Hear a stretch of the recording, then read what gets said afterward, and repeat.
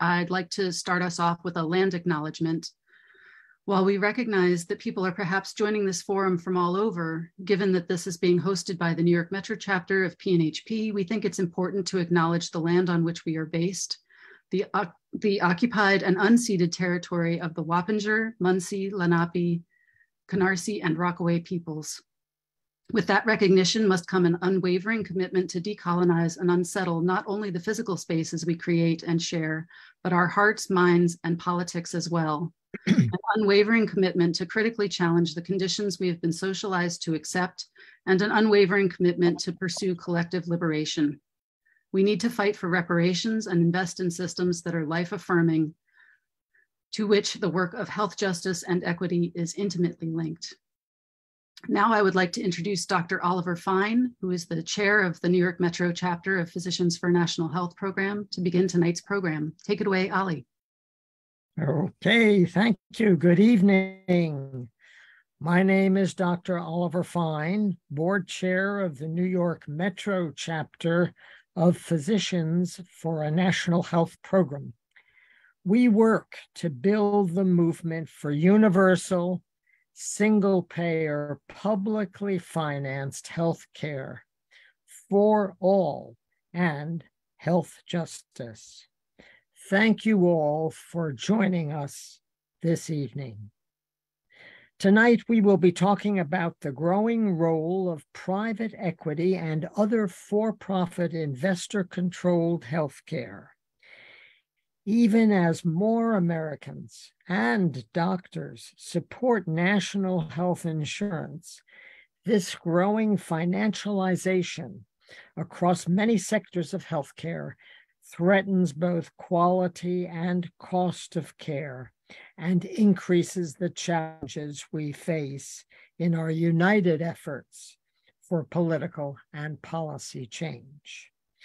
We hope you will join us for our next educational forum on November 15th, which will focus on Native American health and health care.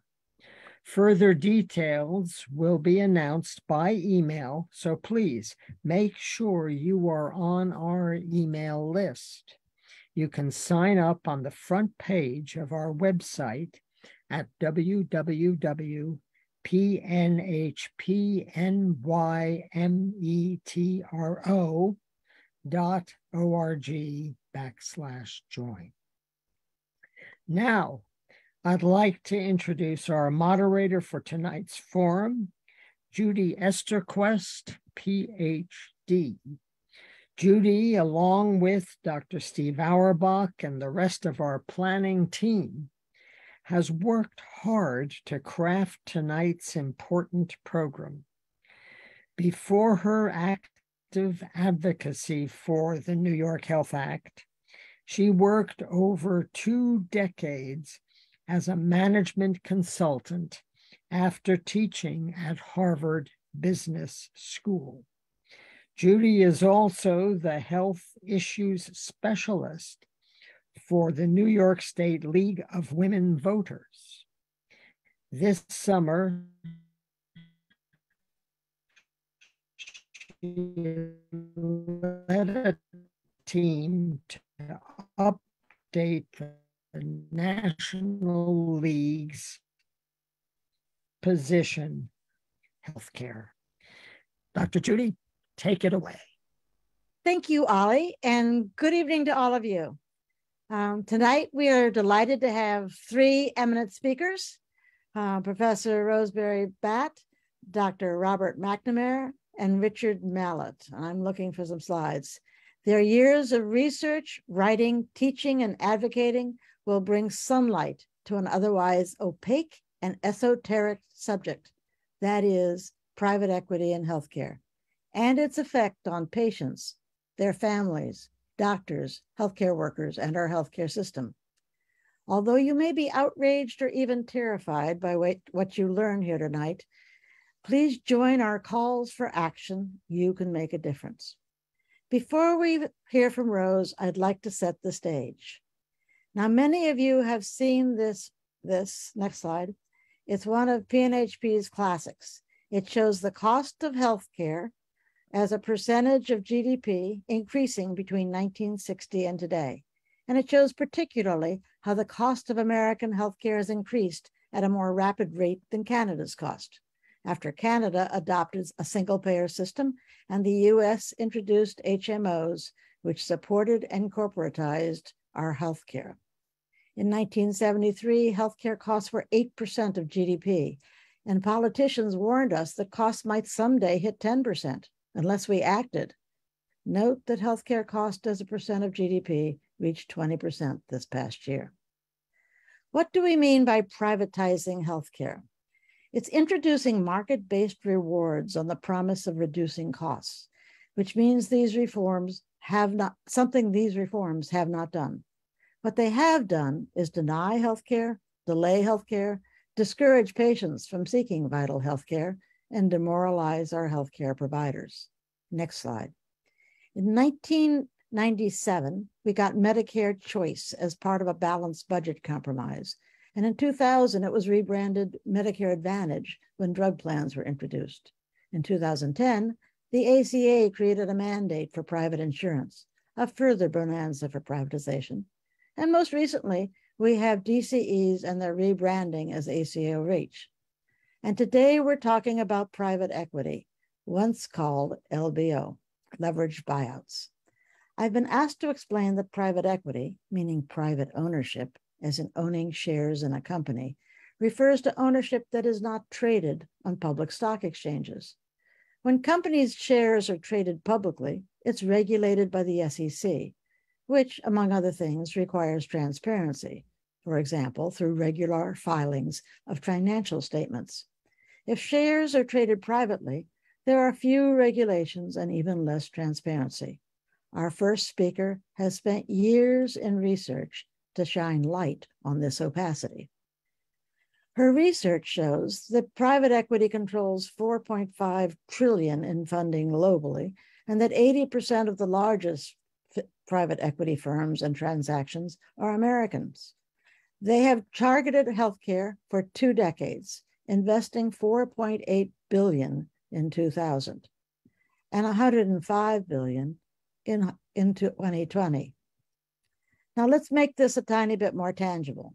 In the past two decades, private equity firms have bought, sold, and dismantled all of these famous American companies some with storied past dating back a century or more. These businesses are now history, even if sometimes their brands live on. I want to thank Morgan Moore for these riveting shark and octopus graphics. Well done. Last year, Eileen Appelbaum, who is Rose Batt's long term research partner, testified at a hearing on Senator Warren's Stop Wall Street, saying, the rising tide of capital flowing into PE funds has left them sitting on piles of dry powder. They are now in a better position than ever to buy up and hollow out large parts of the US and global economies.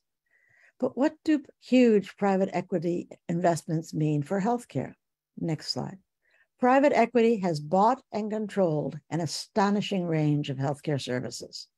Healthcare is a lucrative target for private equity, and Professor Batt and Appelbaum's estimates over the past of the past two years that the estimate that two years ago the dry powder available to private equity firms to aim at U.S. businesses was between 1.5 and 2 trillion dollars. That's 10% of the U.S. economy. This will be what Professor Batt will discuss.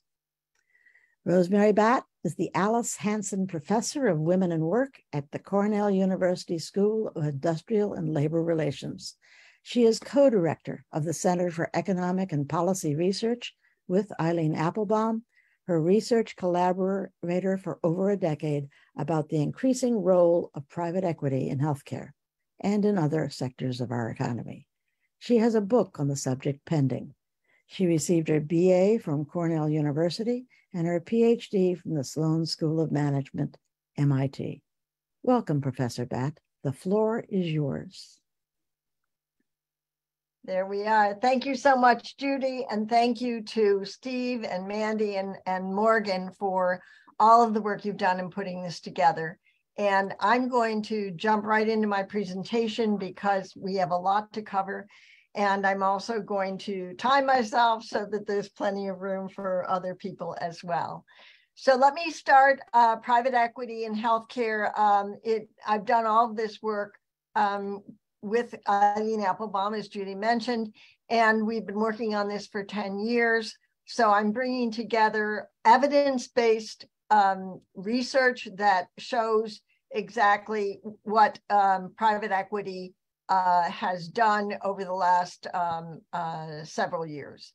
Let me jump in and first begin by saying we view private equity as the most extreme form of shareholder capitalism. And what we mean by that is that the mentality of um, corporations as only meeting the needs of their shareholders through uh, maximizing profits is one that has taken hold across the United States and now is moving into healthcare as well. And so we view private equity as a more extreme form than a for-profit corporation, and I'll outline why that's true.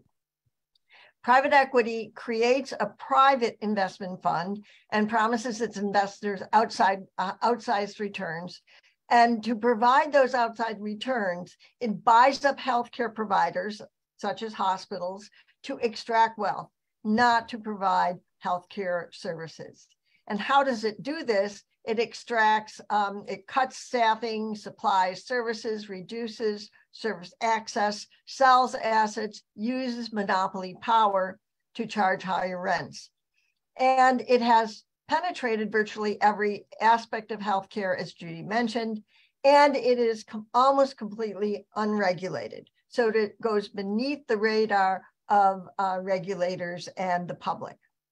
Um, now, what does it do to really change healthcare? I argue that it turns healthcare from a social good into a financial asset. So these are Wall Street financiers who view companies as pure financial assets or almost Lego chips to be bought and sold.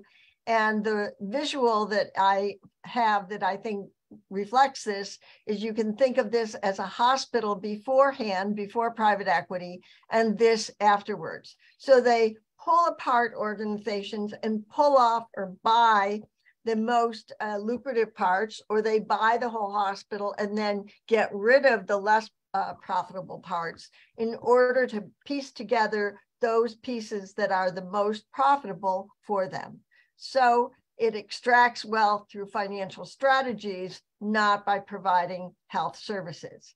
Uh, now, let me go and give a, an example before I go into the model you can see a visual here before and afterwards. And my point was that private equity pulls apart organizations and pulls out the most financially lucrative parts, maybe sells off the rest so that it can make the most profits.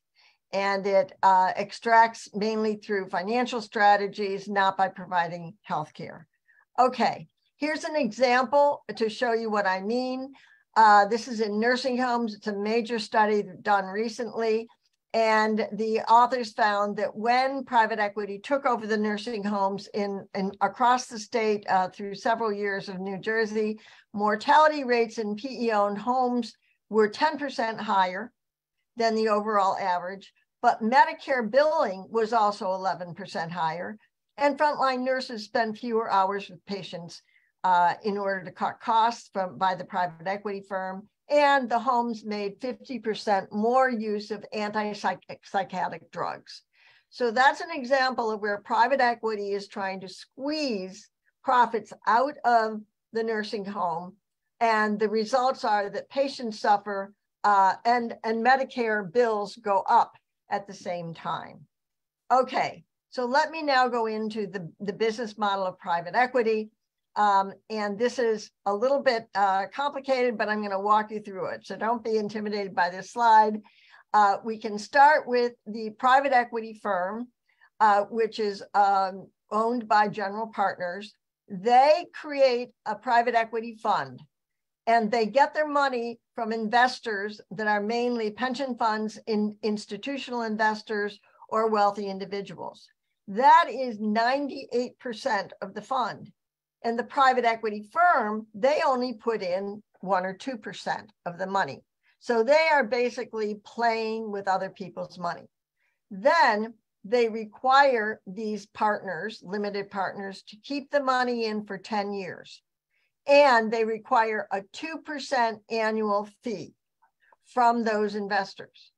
And that money, so for example, the average uh, private equity fund is now $1 billion. And so that means that 200 million, 2, 2% annually times 10, goes off the top directly into the pockets of the private equity firm and they can do whatever they want with that money. And it is there is no accountability. They they do not expense the money. This is purely gravy for the private equity firm. The rest of the money they invest in portfolio companies they buy hospitals they buy nursing homes etc and they use only 30% equity, which means their own money, their equity ownership, and they then borrow an additional 70% from banks or creditors so that they are investing only 30% in buying out a, a company. Then when the um, after five years they try to flip the company and at that point they get 20% of the profits so here you have they're only investing 2% in the fund, but they're getting 20% of the profits. So the, the investors are actually getting considerably less, disproportionately less than the private equity partners themselves. Now, they do this several times over because they have uh, a fund, they're using a lot of debt, so they can spread their own money over buying several companies, and they can set up another private equity fund. So here's another one. So KKR, for example, now owns over 100 companies at once. And so if any one of those companies happens to go bankrupt, they don't really care because they, they don't, uh, they have many other companies and the debt that they have put on the company is on the portfolio company. It is not on the private equity firm. So it's like having a mortgage, but having someone else responsible for paying your home mortgage. You're not held responsible. Um, and so this ends up being bad for the companies and bad for the stakeholders, but the private equity firms make a lot of money in this process. So let me go further. Here is uh, a strategy where they start with a high level of debt, and now they have to figure out how to make money, how to make outsized returns. So one way they can do it is operational. That's what all hospitals do. They cut they cut costs if they need to. They um, and try to get higher revenues. So that's pretty typical. But private equity tends to do this on steroids. In addition, they have what we call financial engineering strategies that um, I'll explain in a minute. And then the outcomes are they are managing for cash flow. They want to increase the flow of cash in order to service the debt that they have put on the company, but also to extract cash for the, the investors. And then the jobs and sustainability of the company are uh, to be seen. Now, what are financial engineering strategies? The first, as I've said, is excessive use of debt uh, that is loaded on the provider. And that means that there increases the risk of ba bankruptcy or poor financial performance. Then there's also uh, that forces cost cutting in order to service the debt, as I've just mentioned. A second way that there is financial engineering is charging portfolio company fees. In other words, I'm going to charge the company for advisory services that I'm providing. And I'm the one who is in charge of the company to begin with, so I can kind of double dip, if you will. Third, uh, dividend recapitalizations. Now, that's a very fancy word for simply meaning taking more debt, more loans out, and loading it on the provider, loading it on the portfolio company. And when I do that, rather than using that money maybe to make improvements in the hospital, I use it to pay myself a dividend. And so I'm going to take money, extract money essentially from the provider and pay myself a dividend. And these these loans are considered junk bond status, which essentially means they have to pay very, very high interest rates, again, loaded on the portfolio company or on the healthcare provider. Then there is another way of doing of sucking money out of portfolio companies, and it's called a sale leaseback. Here is where the, the private equity firm sells the property underneath a medical provider and uses that money again to pay itself a dividend. So it doesn't use that money maybe to again improve technology or improve services. It uses it for its own uh, personal gain. The providers, the healthcare, the hospitals, for example, are saddled with long term debt, inflated rents with escalators on property they once owned.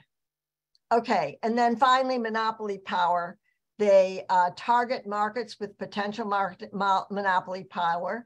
They buy more providers and create a chain. So, for example, I uh, buy up physician practices and then I buy up some more and I, I load them into one corporation and they're all in a local or region, a regional area, so that I can control the market and extract higher rents in that way um, the buyouts in healthcare tend to be so small, like a hundred million, which is a lot of money, but a small enterprise, that they go below the radar of the antitrust monitoring of the federal government because they only monitor um, buyouts if they're like 200 million or more. Um, and private equity is responsible for 45% of the mergers and acquisitions in healthcare, even though they're very, very small players. Okay, now, how do private equity owned companies differ from for, for profits? This is important. I've already mentioned capital structure. And so here, private equity uses 70% debt, but for profit corporations, maybe only 30%. So the for profit corporations are not as financially vulnerable then the regulatory oversight, the transparency, the accountability are all little to none under private equity. And that's because they are almost uh, not accountable at all to the uh, Securities and Exchange Commission. Whereas for profit co corporations have to uh, submit very substantial uh, reports to the uh, SEC. And finally, risk taking, as I said, is very high under private equity, not so much under for profit corporations. Then, in addition, there are asset sales, which I just mentioned, that uh, are very, very frequent under private equity ownership, but not, but quite rare under for profits because they want to hold on to their, their organizations and they're not going to sell them. The debt used for dividends is very frequent in private equity, not so in for profits. The fees paid by the um, enterprise are large. There are no fees charged by for profit corporations. The taxes under private equity are a low capital gains rate as opposed to corporate income tax. And then the reputational risks are low when people see a hospital that is poorly run, they make the attribution to the hospital. But it may very well be run, as in the Steward case I'm about to show you, by a private equity firm who's hiding behind the name of the hospital. So we never see who is really owning the hospital and the, the kind of shenanigans they're pulling behind the scenes. Okay, here I'm going to give you a few cases to illustrate what I just said. First of all, Sequel Youth um, and Family Services. They provide residential treatment centers, autism mental health programs, and operate in 15 states, 40 facilities. This is private equity buying and horse trading. In 2010, they were bought out by a private equity firm called Levine Leichtman. 2013, that private equity firm sold it to another one called Alaris. 2016, Alaris does a dividend recapitalization. That's where they load a lot of debt on the Sequel Youth Services and they take out a dividend for themselves. And then 2017, they go ahead and sell it to another private equity firm. They've made their money. Now they're going to roll it over to another private equity firm. So, how does it make money? Well, it's 100% funded with taxpayer dollars by Medicaid and Medicare that charge very high rates per, per day per child. And this is a quote from the owner. He says, We get paid on time and it's government money and there's plenty of it. And that's what makes this an ideal business to invest in. So we're doing this all on the backs of taxpayers. Um, I'll go on a little further. Um, what's the impact on healthcare staff? They hire unqualified, low cost labor, no background checks, low staff patient ratios. And here's again the owner saying you can make a lot of money in this business if you just control staffing. They willfully have failed to report patient abuses to the authorities. Um, and then the impact on children is absolutely horrible. This is a case that has been in the news. It's been well researched by a number of organizations. Patients' rights groups and state investigators found widespread abuse in 18 states. The foster children moved to out of state locations around the country. Verbal, mental, and sexual abuse, improper restraints, rampant violence, and in one death, uh, a tragic uh, story um, where a, a Connor was horrifically brutalized sexually, physically, and emotionally by other residents because there wasn't supervision. So this is a really horrific example of what private equity can get away with. Um, and there are suits now going after them, but uh, it, it doesn't matter because Sequel um, while their contracts have been canceled, they just move on. They move on to other states and they're still in operation big time. Okay, hospitals. Here's an example of Steward. And we find that um, the in 2011, a private equity firm named Cerberus bought six hospitals in um, Massachusetts, Catholic hospitals, and they were required by the Massachusetts Attorney General to hold on to them for five year, uh, years and do charity care and invest because they were nonprofits being converted to for profit status. Once they did that for five years, then the Massachusetts uh, AG stopped monitoring. And what happened? Well, in 2016, they did one of the sale leasebacks. So they they sold all of the property for $1.25 billion from under the hospitals. And then Cerberus paid itself 500 million off the top in dividends. Then it went on, um, the hospitals were saddled with long-term leases on property they used to own, and their leases increased at 3% a year. This is hospitals that had owned their places since the 1800s and now were paying inflated rent in Boston. Um, 2016 through 19, Steward went on a national buying spree and got 33 hospitals in, in total through horse trading so they could get bigger and bigger for their monopoly power.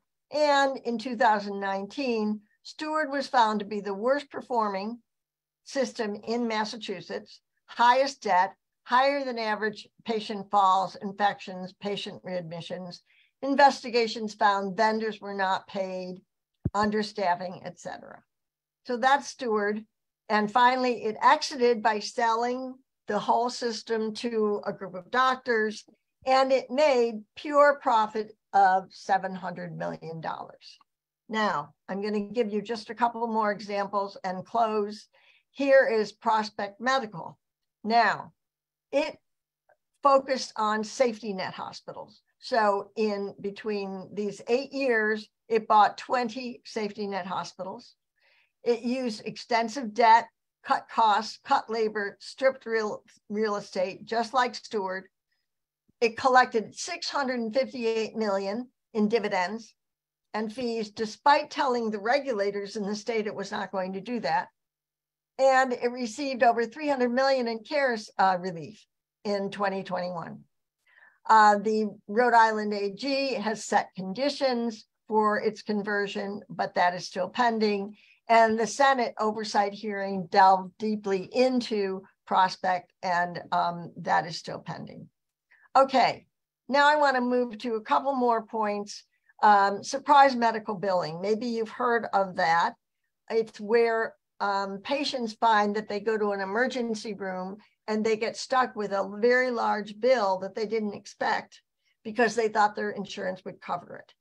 And this has emerged because um, hospitals have needed to outsource or say they need to outsource their emergency rooms because of the costs. So this has become a trend across the United States.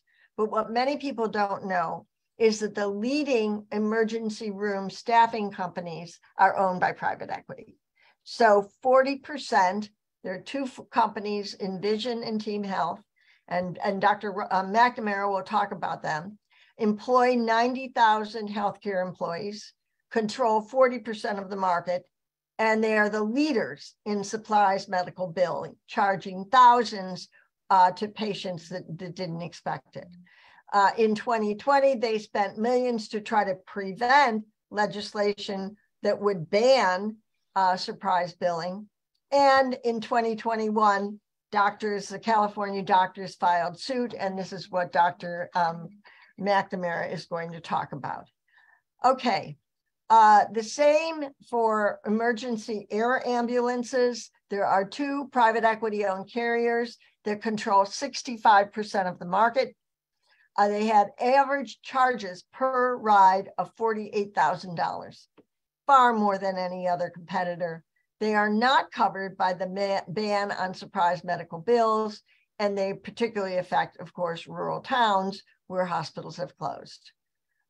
So let me just show you, this is the uh, graph that Judy was referring to about the rise in private equity funding. It has risen 25 fold in uh, just 20 years.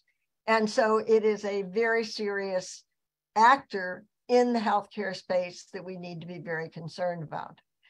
Uh, and so finally wrapping up, uh, it in, it uh, is interested in market uh, opportunities because the market is fragmented and market demand is rising.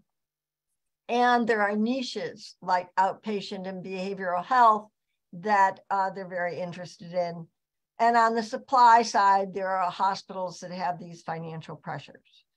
So, in conclusion, private equity shifts the primary goal from serving patients to extracting wealth for outsized returns. Leverage debt, property sell off, dividend recapitalizations undermine financial stability. Targets are hospitals, nursing homes, patients.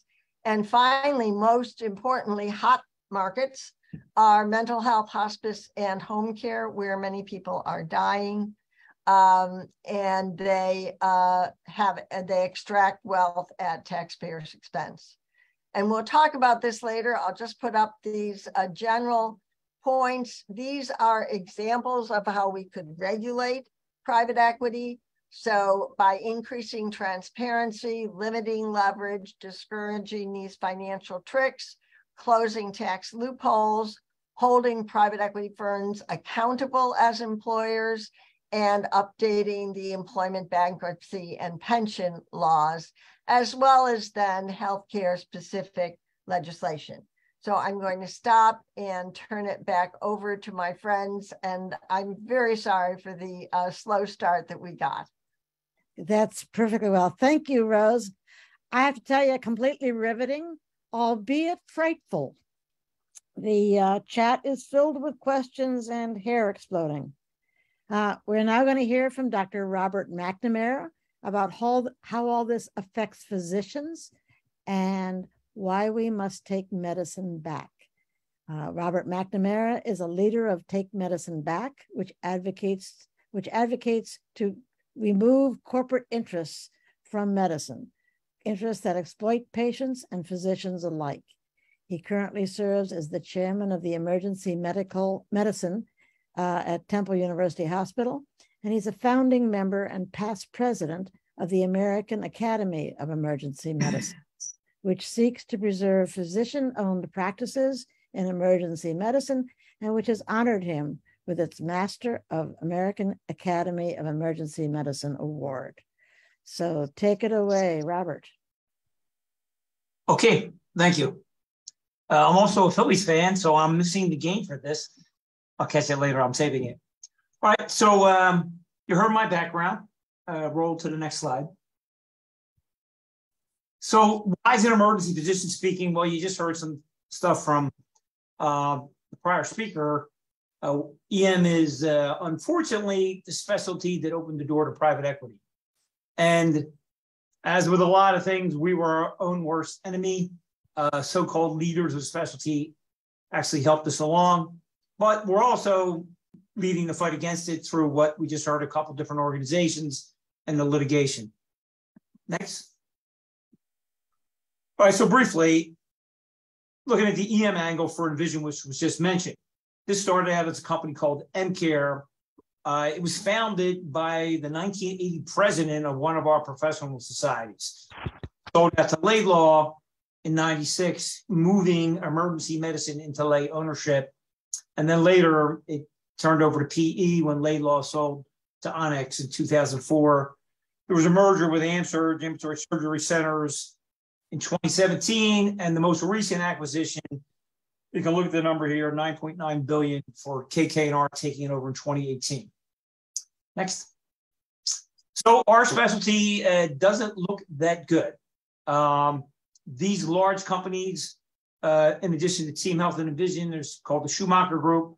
They're completely controlled by private equity, and there's a major stake in a lot of other large staffing companies. And we tend, we're told, and I tend to believe, that if PE is investing in you, they have control. Uh, they're not going to put their money somewhere that they, they can't really control it. So estimates over 40, sometimes people say 50% of the EDs in the country are controlled by corporate groups with ties to private equity. Next. So again, we just heard this um, short-term, high profit for investors. This conflicts with doctors. You know, we swear the oath to, to put the patients first. And the core methods that we just heard about can cause patient harm. They want to maximize revenue, minimize expenses. Next.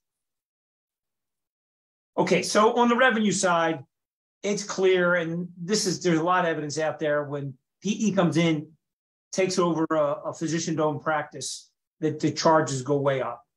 They go from a typical physician charging, you know, rates of three to four times the Medicare to to eight to nine times the Medicare rate. So they set high charges. They pursue the patients for these high charges.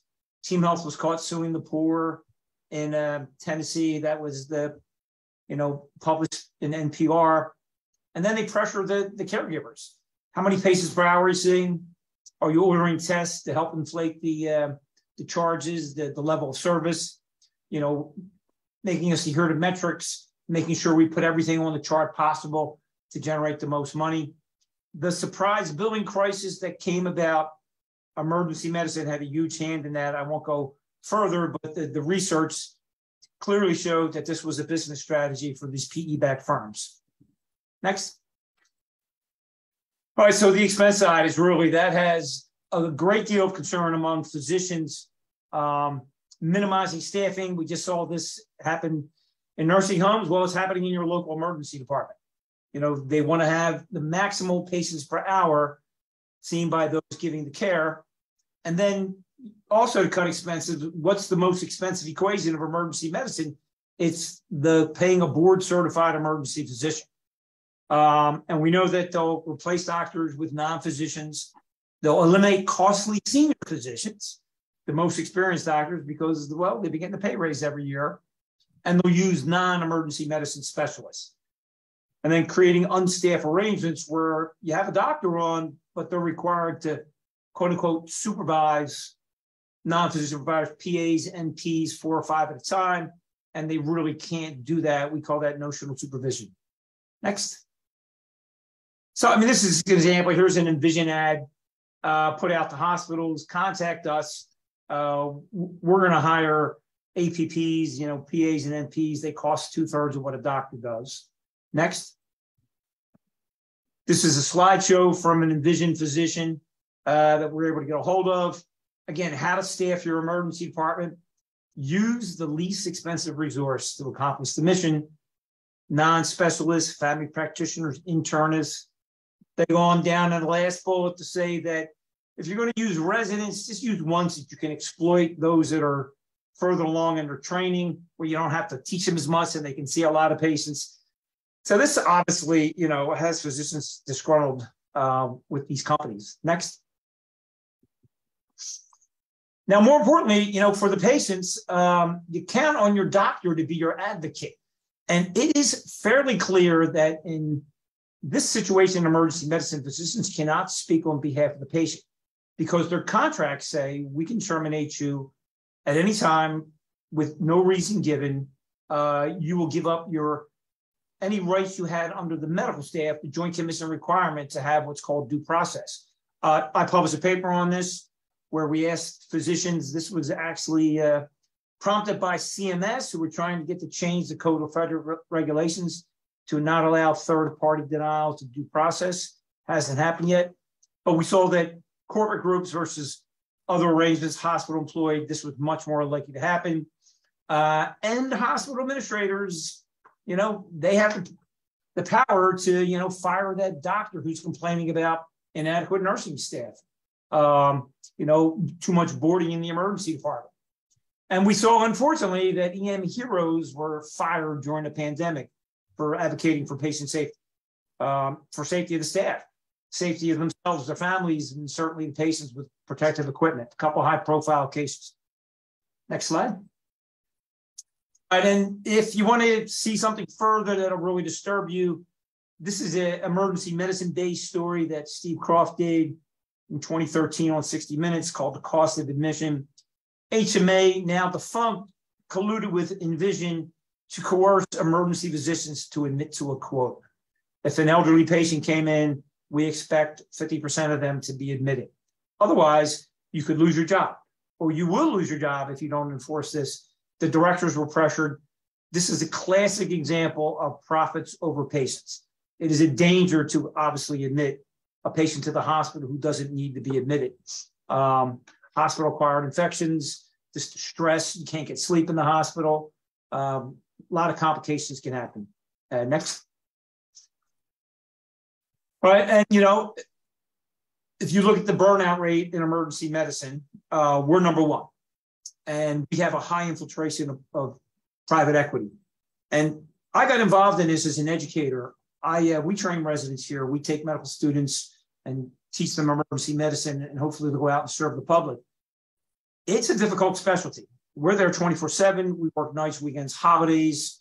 We see things that you, you, you couldn't imagine we see young people die. Here at Temple, we see high rates of penetrating trauma, violent death, forefront of the opioid crisis. Um, it's extremely difficult to, to take care of patients in emergency medicine. And if you feel you're being taken advantage of, that some private equity company is, is taking money out of your pockets, it's just, you're not going to survive. And this is a, a big contributor to physician burnout. And then along the way, you know, before that doctor decides they're going to leave, they're not at their best, right? They're not taking care of the patients the best because they're disillusioned, they're angry, they're not thinking clearly. And of course, from our perspective as physicians, that burned out doctor doesn't like going to work, is angry when he come home from work. It affects them, their family. Physician suicide rates are high. Uh, we've seen a couple EM docs during the pandemic take their lives, all very concerning to us. Next. So we're fighting back, and uh, this was mentioned by Rosemary. You know, there are in most states some prohibition on the corporate practice of medicine, which essentially states businesses can't employ physicians because it puts that financial interest between the doctor and their patient.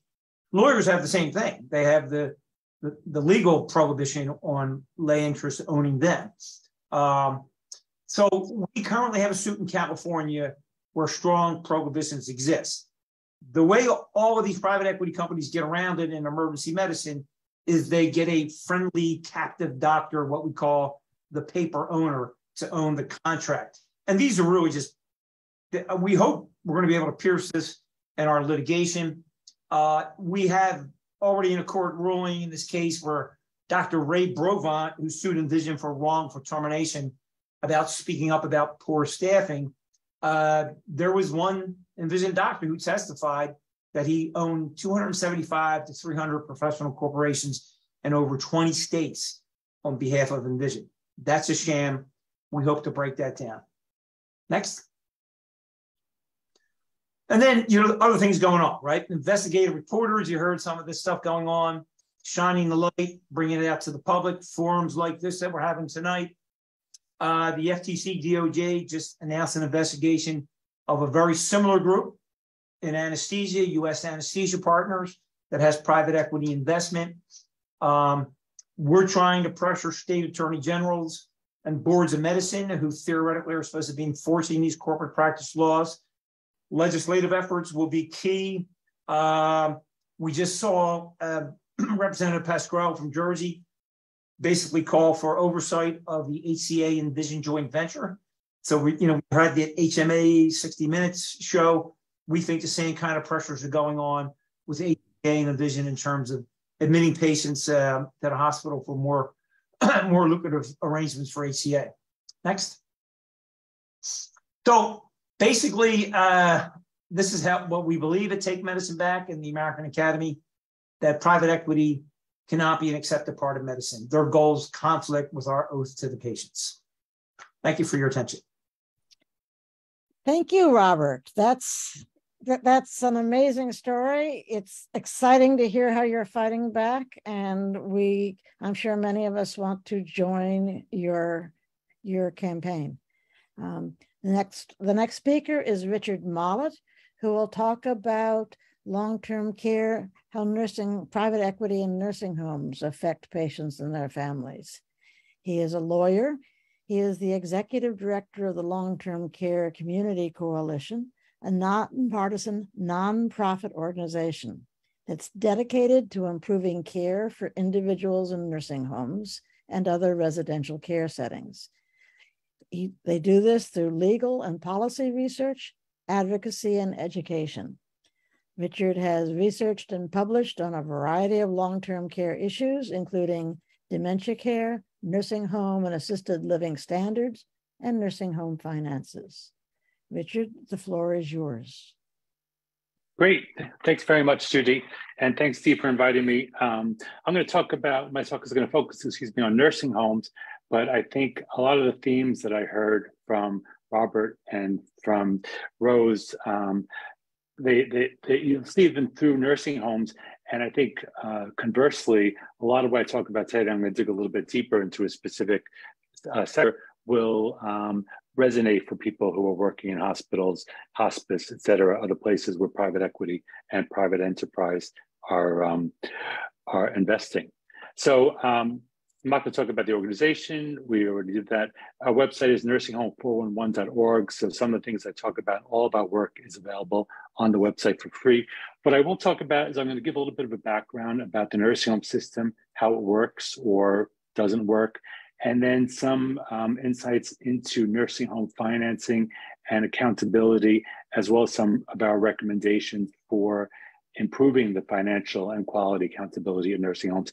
And then lastly, I'll just leave off with some of the resources that we have on our website related to nursing homes.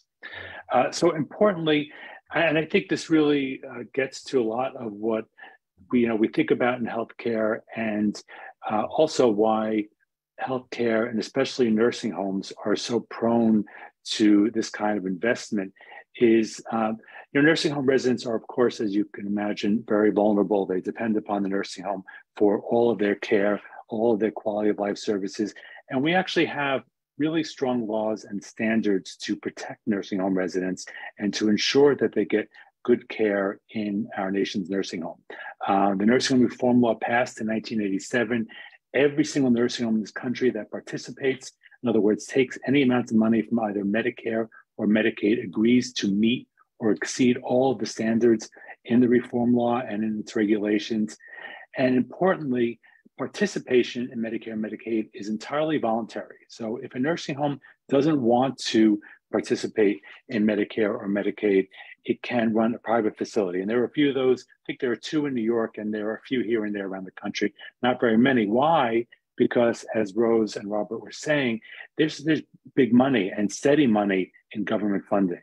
So that's what people want. That's what what investors have long realized and operators have long realized. But again, as I'll talk about, the industry has gotten much more sophisticated. Uh, but importantly, just a few more things about the reform law. Um, to my mind, it's a really special law because, as I note in the first bullet here, it requires that every resident receives the care and services that they need to attain and maintain their highest practicable physical, emotional, and psychosocial well being. So, unlike other types of industries, I think about car manufacturing or uh, looking at my desk, uh, desk manufacturing, uh, um, regulations tend to focus on the output of what's what an industry is providing. The nursing home rules and requirements focus on providing care for an individual, um, providing an assessment for them on a regular basis, making a care plan around that assessment. And there are a lot of rules and regulations to ensure that the nursing home is really taking that those responsibilities uh, seriously and performing them, recognizing again, as I mentioned earlier, that residents are so vulnerable. It's not like someone who goes into a restaurant and you know you have a crappy meal, you don't feel too good afterwards. You can you know write something up online, or you can um, you know you can call and complain, or and you can never go back to that restaurant. Nursing home residents are pretty much stuck. So these rules are really important. So the question is, and I actually use this slide when I speak to families and to uh, advocates as well as if the laws and standards are so strong, why aren't nursing homes decent places to live and to work? And the reason for that is because laws and standards can only make a difference if they are enforced. And I wanted to include that here because it's really important to why nursing homes have been so attractive to private equity and, and other types of, of investment vehicles. So the problem is, is that the laws are largely unenforced. We have really poor oversight in this country on both the state and the federal level. And there have been numerous studies, numerous reports you can see here from Forbes to our own study to numerous government accountability and Office of Inspector General reports and audits over the years. So this is a quote from the New York Times, long-term care continues to be understaffed, poorly regulated, and vulnerable to predation by for-profit conglomerates and private equity firms. I thought that was interesting. So why is that? And then just a little bit of, of background how we've moved in this direction. So uh, before I started, I've been here uh, with the coalition for it'll be 20 years next month. But early on, prior to my time, most nursing homes were what we call mom and pop operations. They were single owner, oftentimes families. Oftentimes they would be handed over from generation to generation in a family. And we moved on that, especially after and I don't want to give, we don't have time to give a tutorial on Medicare and Medicaid funding, but as those funding streams became available, again, the dollar signs and the steadiness of government funds, corporations, limited liability companies went in. Uh, part of that was to seek profits. Part of that was also uh, to hide accountability for when nursing homes would be sued because they substandard care was so poor that the resident really suffered and died. If you hide behind an LLC, by definition, of course, limited liability company, you are hiding, you, you are putting distance between yourself and the operations. Then we saw real estate investment trusts come in. That was around the time that I started. And now more, I would say over the past 10 years, private equity and very sophisticated private investment. So what I want to talk about now in the next couple of slides is really what I've hinted at before is that in the absence of meaningful enforcement, nursing home operators can largely provide any level of staffing and any quality of care and quality of life services that they choose. As Robert mentioned before in one of his slides that focused on or directed the uh, operators to focus on less, um, less experienced staff, less uh, professional staff. This is what we see in nursing homes over and over and over again. Cutting of staff and especially cutting of professional staff such as RNs and very little involvement and I would say decreasing involvement of medical directors. I'm going to give one quick example of this is staffing. Staffing is the most important corollary for quality of care. It's also the most expensive component of, of the care centers related to cost. Uh, the typical resident needs a little over four hours of nursing care staff time per day just to meet their clinical needs. In fact, the average nursing home in this country provides about 3.62 hours, so substantially below just what's needed to provide decent clinical care. Although short staffing is pervasive, it's rarely cited by either the states or the federal government. And even when it is cited, it's almost never identified as causing harm to residents or putting them in immediate jeopardy of harm. And that's important because unless harm is identified or immediate jeopardy is identified by the inspector, the surveyor, there's virtually no chance of any financial penalty. Conversely speaking, is that you can provide low staffing with impunity, thereby saving a lot of money in your operations and reaping a lot of money uh, outside of it. So we did a study on this. I'm not going to go into it here, but we looked you know, at three years of federal and state data on citations. And so everything we do with the organization, as I mentioned at the start, is really backed up in, uh, with data from the federal government, with data that's reported by facilities, and of course predicated on the law and the rules. Uh, I thought it was important to get at a couple of things. One uh, regarding financing, before I move on, unless things I'll talk about is some of our recommendations and resources. But the nursing home industry has two very large lobby associations on the national level. Both of them, if you look up their 1099s, are sitting on around $30 million each in assets. Um, most of the states, including states like New York and California, Florida, and Texas, which have very big um, sectors, also have very active lobby associations. They perpetuate this myth that nursing homes um, don't make enough money. And in fact, there's nothing independent to substantiate that.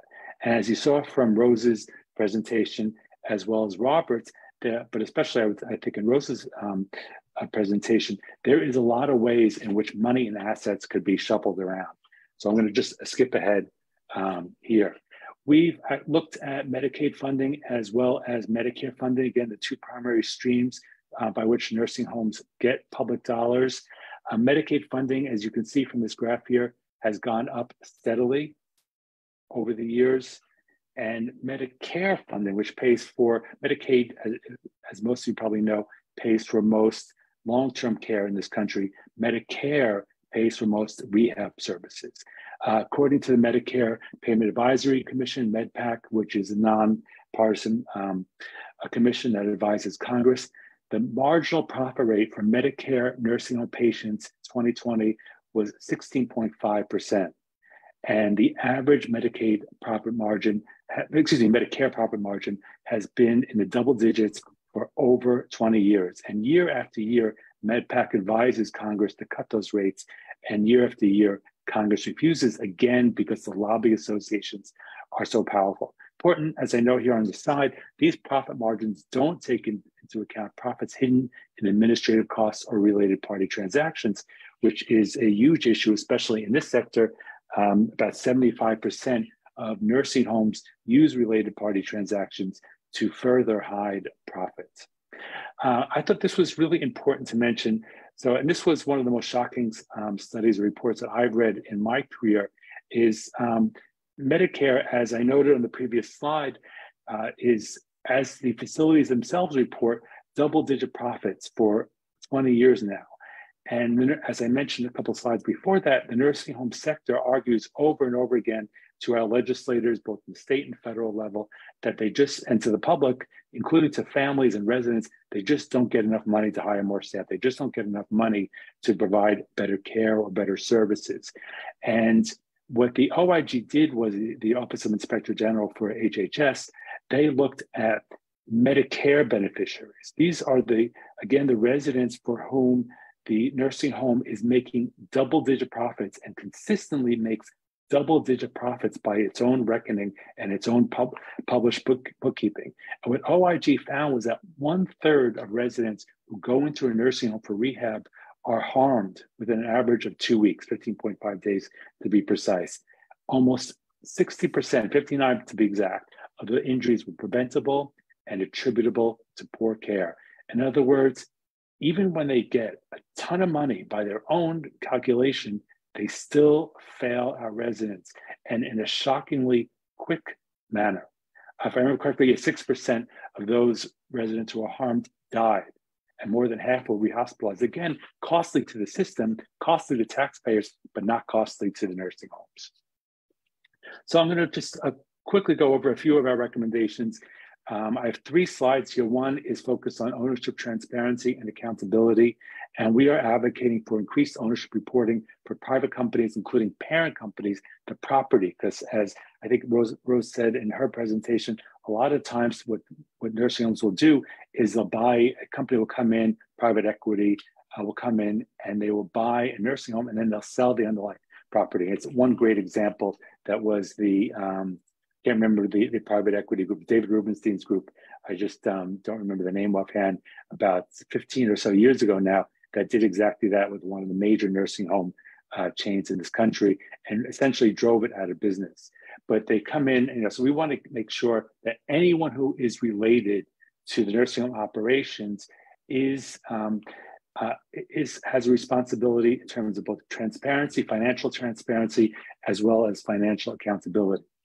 Uh, we also have recommendations regarding quality uh, and how that quality gets to financing. Here is um, two sets of recommendations. One is there should be a direct care spending requirement, meaning that the nursing home should have to provide a should have to excuse me use a certain amount, certain percentage of the money they receive for care actually on care. Uh, and the second part of that is to specifically limit administrative costs as well as profits. As I note here, New York actually was one of the more, I wouldn't say ambitious, um, because New Jersey, as you can see here, Massachusetts, other states have done a little bit better in terms of percentage of, of uh, spending requirements, but New York was a little bit more comprehensive in respect of both having a 70% spending requirement, meaning you have to spend 70% of your reimbursement on resident care, 40% of it on staffing, and limiting profits to 5%. The nursing home industry, by the way, it has two lawsuits, one in federal court and one in state court, to prevent those rules from going into place. And our last set of recommendations is regarding quality and accountability.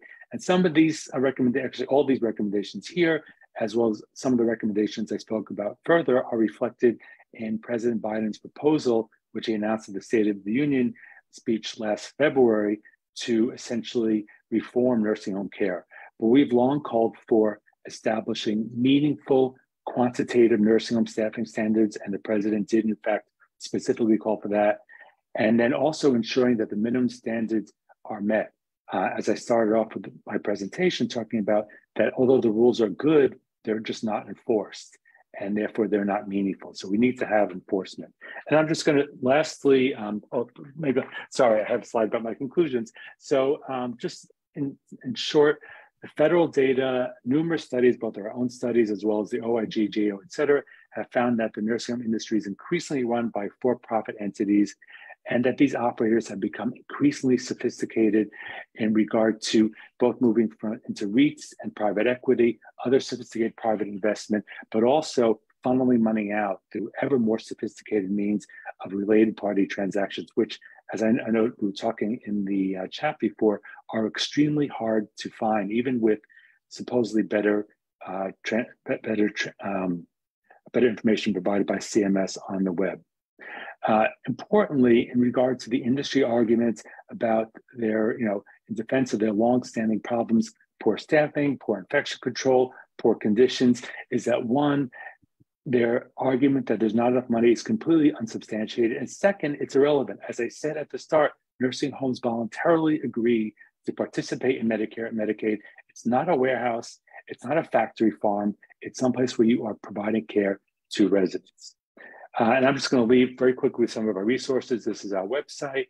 We have data which we publish on every single nursing home in the country. It is self reported, but under the Affordable Care Act, it's required to be audited or auditable at least. So we have some good information about nursing home quality as well as tools and resources for residents. Thank you very much. Wow. Thank you, Richard. Uh, some extraordinary findings you've outlined for something that most of us only know about from having a loved one rather than actually knowing about it. Um, before we move to Q&A, we're going to ask uh, Steve Auerbach if he would do some calls to action because it sure looks like a lot of you want something done about this. Go for it, Steve. Steve, are you muted? And Steve needs to be spotlighted. Sorry, next slide. So um, we've heard how bad it is, and I just want to point out that even even some senior members at the AMA, um, our good friends at the AMA agree, uh, pointing out that uh, private equity firms uh, buy practices and their investors are expecting uh, their money back in a short term. He says five to seven, in some cases more like three to five years at 20 to 30% profit. And that's just not a situation uh, which can ever lead to an expectation of long term relationships. Uh, in fact, quite the opposite, uh, to say nothing of high quality care. Um, and Dr. Steve chooses to summarize this more broadly as uh, that you can never, adding an additional for profit middleman cannot, by definition, save money, and it always worsens access to and quality of care. Next slide. So, having said that, we have a couple of national campaigns and national legislation addressing this issue. Uh, one of them is the um, uh, Protect Medicare. Uh, you see the link down there below, protectmedicare.net, which is fighting against um, what is now called ACO REACH. Uh, this was a, originally rolled out under Trump.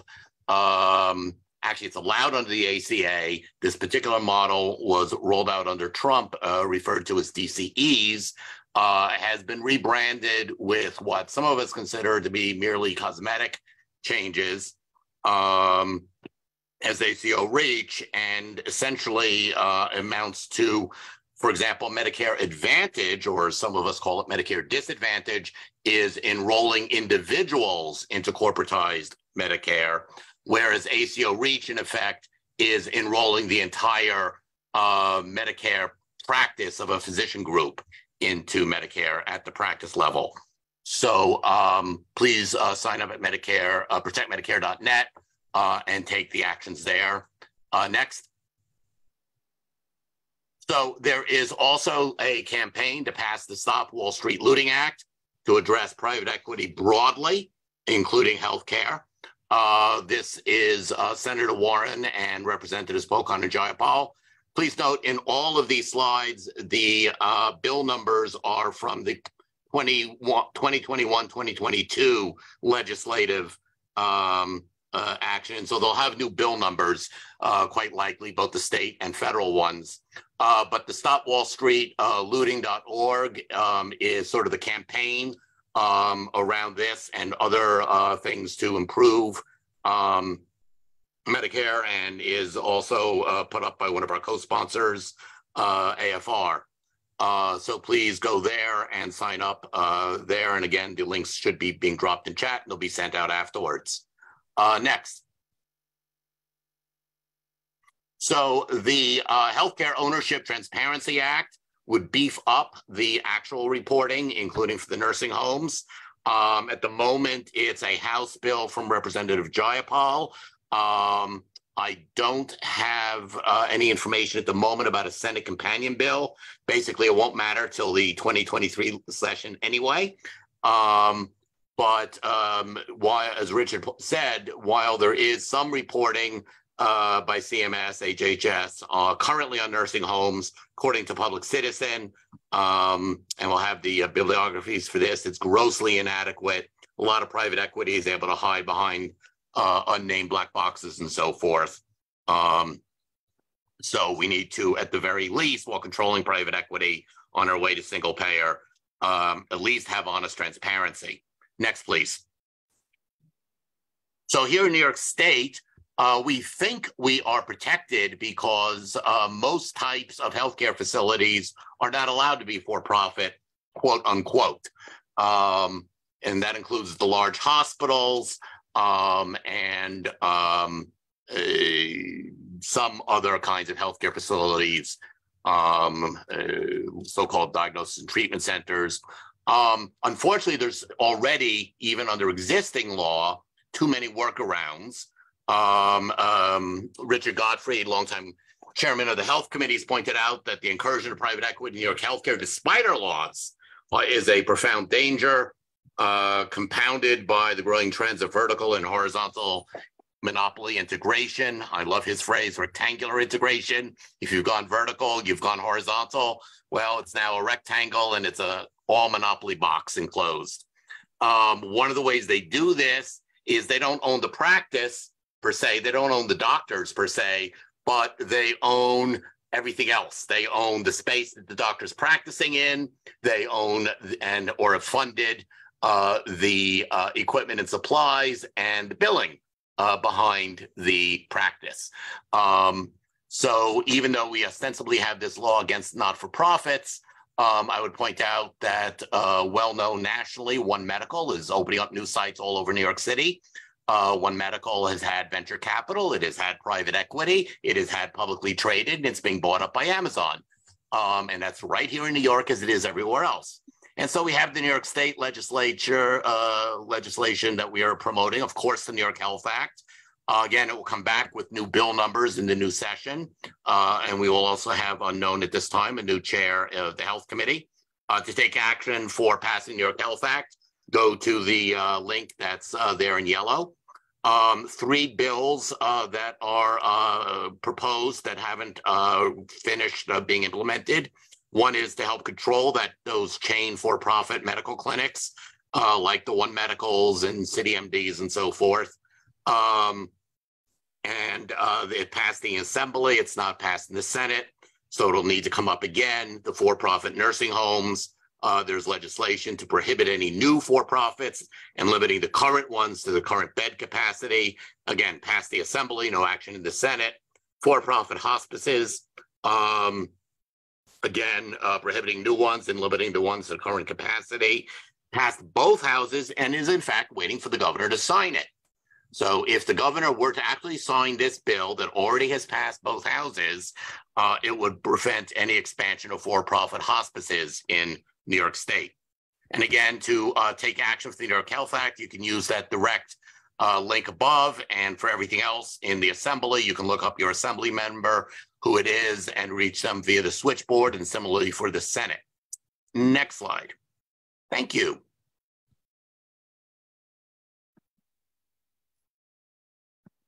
So we're time for uh, Q&A.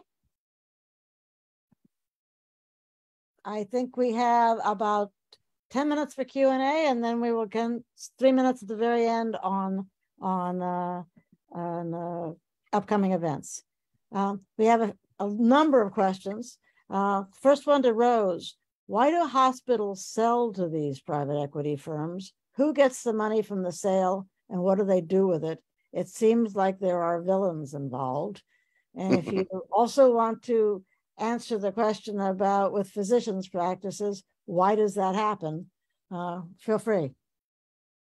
I'm sorry, what was the second question? Why does it happen? Well, so so the first one is about who gets the money when hospitals sell. Where does it go? And the second one is why would physicians sell if this is why would physicians be part of a private equity if if uh what if it's as bad as as we're told? Right. So first of all, part of the uh, reason is that people just don't know what private equity is.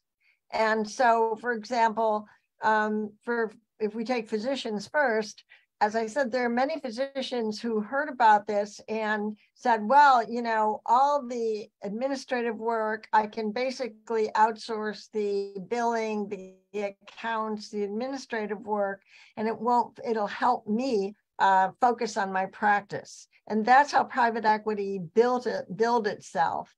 And many, many physicians believe that to be true. And so they were not well informed uh, and that you know even now many people don't know about private equity and they say oh this is an opportunity to enhance my practice.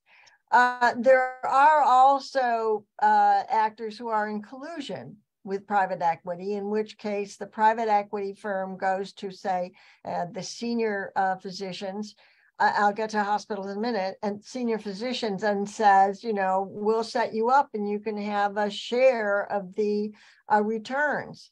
And so they uh, they benefit.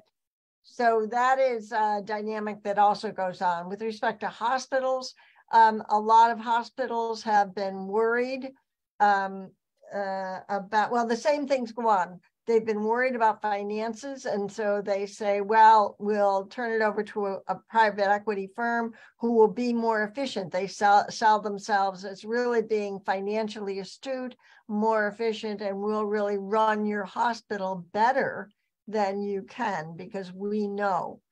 Uh, the other uh, way that private equity gets in is that again they they make a deal so, for example, HCA, which is all of you, I think most of you know, is the largest uh, for-profit corporation in the world.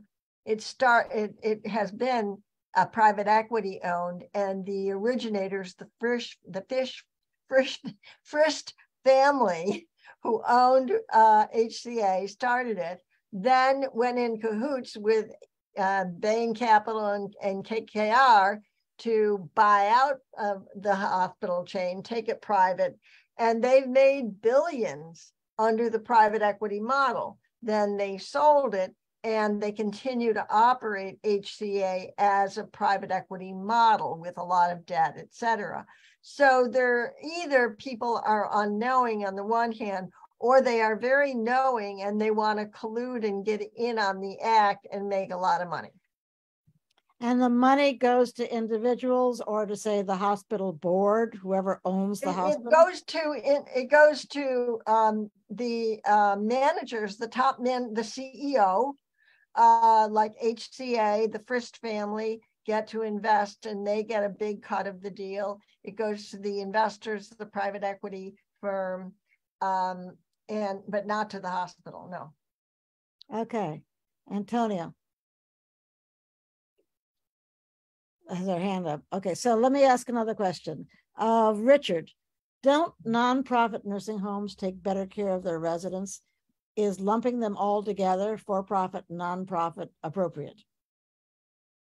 Uh, it, it is appropriate. I think that um, you know, we've over the years, the not-for-profits uh, they do have a bit more staffing. They do tend to have better outcomes, but I think that we've seen a narrowing of that um, over the last several years. And a lot of times I see both personally and as well as in the data that the not-for-profits are run very similar, uh, similarly, excuse me, to the for-profits in terms of their staffing patterns, in terms of how they treat their residents, uh, shuffling residents around, discharging residents when they no, when they no longer are coming in as a high paid or being, being reimbursed uh, as a high paid Medicare resident, but maybe going to Medicaid.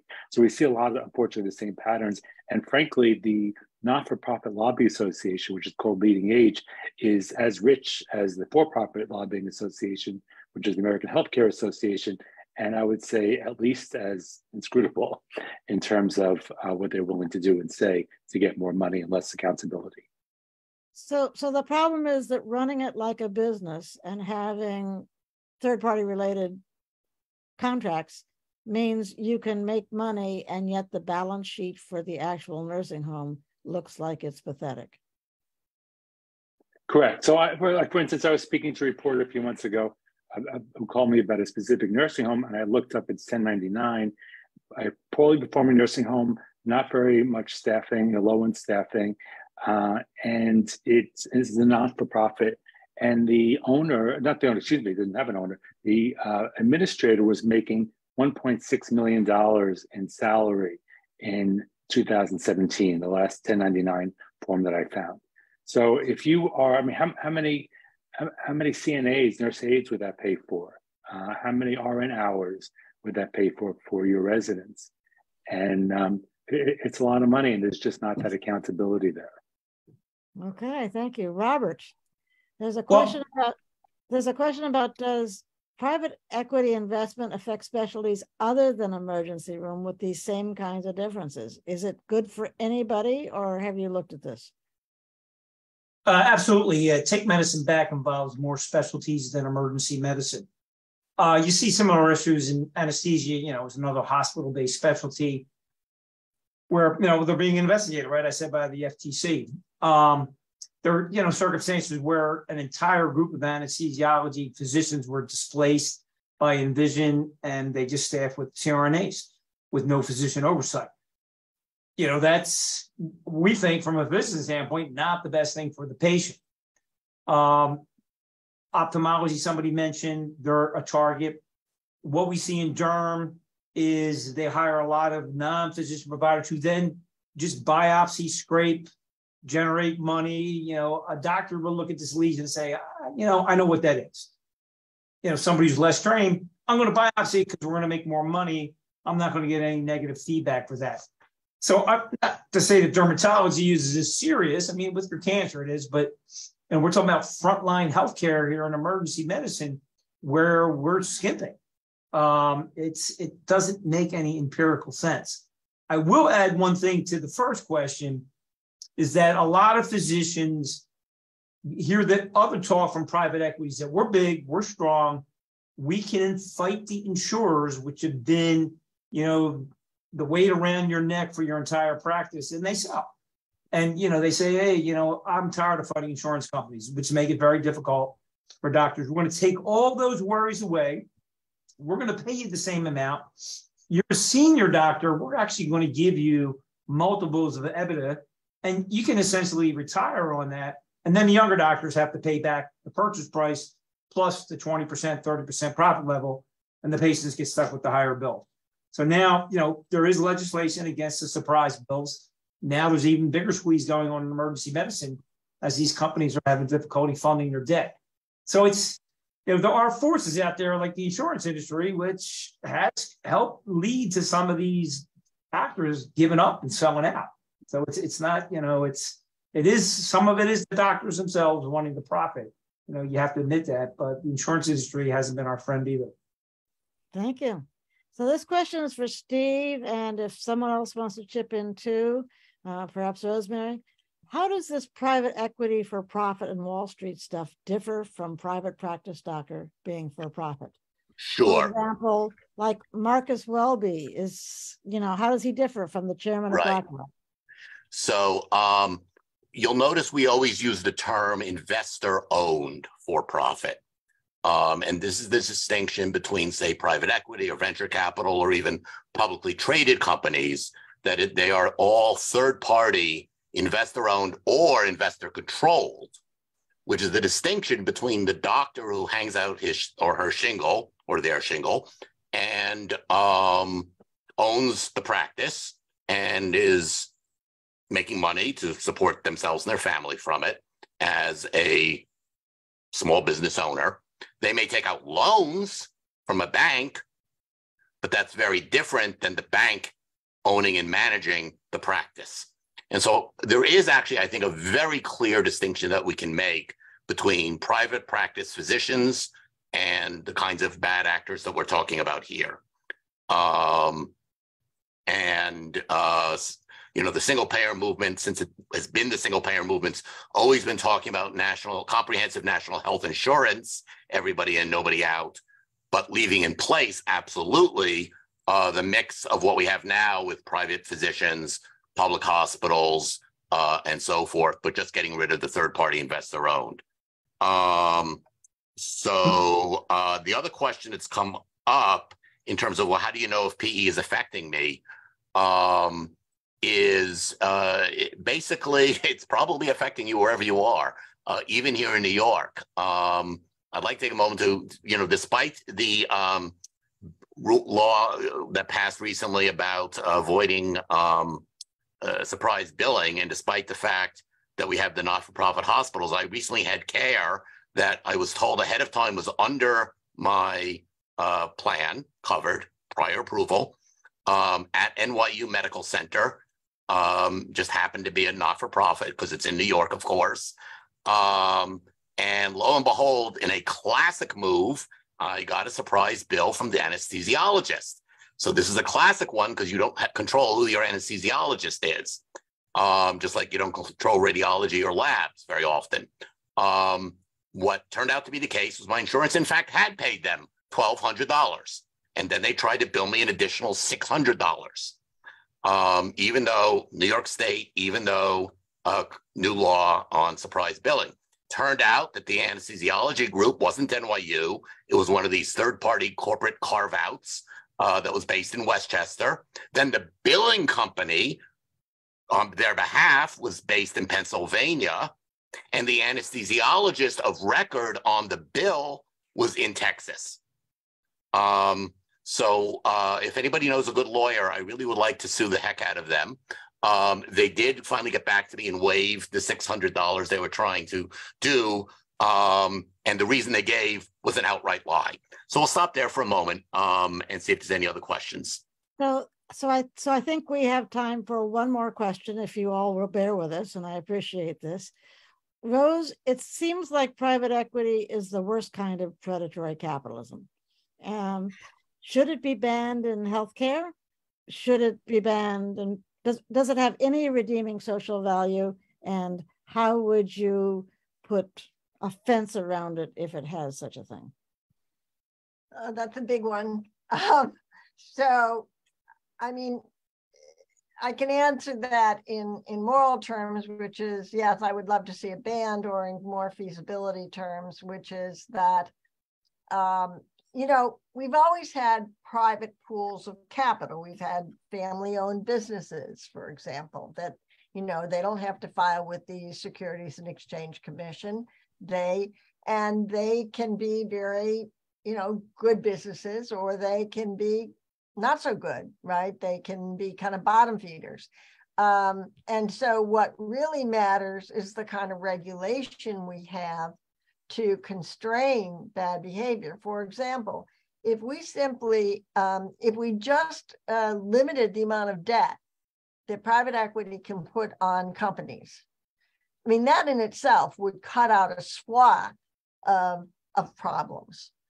If we held employer, uh, private equity um, liable as employers, so right now they're considered passive investors so if there's a lawsuit or something, it would fall on the, the company. Like if there's sex discrimination, it would fall on the company, not on the private equity firm behind it. If you simply made private equity the employer of record, then it, it immediately becomes much more transparent. If you, if you, if you made it file with the SEC the way the for-profit corporations. So there are a number of things you could do even within you know the capitalist framework that would severely undercut the worst behavior um, and so you know right now we're trying to get some basic regulation of private equity be, particularly given the, the political environment and you could do a lot to really cut the worst behavior out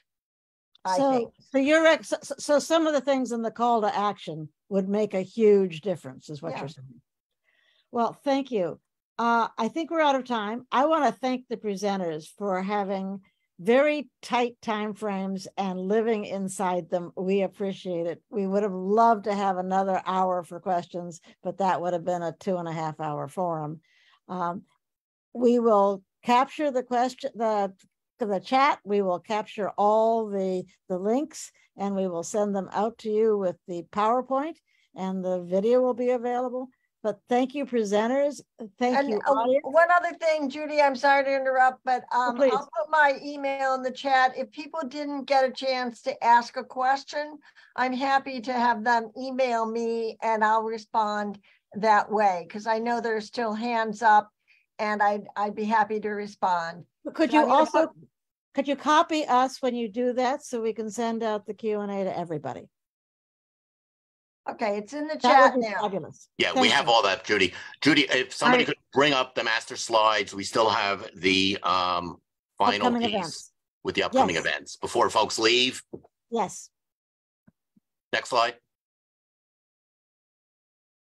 So first of all, uh, there's a fight against uh, the city uh, retirees being forced into Medicare Advantage. Uh, the judge already ruled that it's against the law. So now, of course, they're trying to change the law. Um, so that's what this one's about, and it will be in, in our send outs Tuesday, October 25th. Next. So PNHP National is having our annual national meeting. It's in Boston this year. Our meetings are always top just before the American Public Health Association has their meeting. Uh, so we follow wherever they are the two days beforehand. Um, and we will be talking, among other things, about um, the privatization of everything uh, from uh, Dr. Uh, from uh, Donald Cohen, um, who's uh, that whole sort of privatization of public goods that relates to exactly what we're talking about here. And we have Take Medicine Back is having their uh, annual summit, uh, the first day of which on Thursday, November 10th, is uh, virtual, so everybody can attend. Uh, that's the group that Dr. MacNamara is with. And uh, next. And we want to thank all of our partners on this uh, forum, which includes, in addition to the organizations the speakers are with, uh, the American Economics Liberty Project, which is an antitrust, anti-monopoly group, Americans for Financial Reform, which is fighting the great the fight against private equity and the uh, for profitization, financialization of everything. CEPR, uh, great economic uh, and policy uh, think tank uh, for the people, um, and the Private Equity Stakeholder Project, which, uh, as it says, is fighting the fight against private equity on behalf of we, the stakeholders. Um, as well as the other groups which were uh, represented in person today with the with the speakers. So thank you everybody, all of our partners on this fight together. Next. So thank, thank you. you. I we we will try. It, there appears to be an appetite for a private equity part two, uh, and that will we are always looking for topics. So this may be a good one. There's clearly an appetite. And thank you so much to the speakers and to the audience and see you soon on the front lines.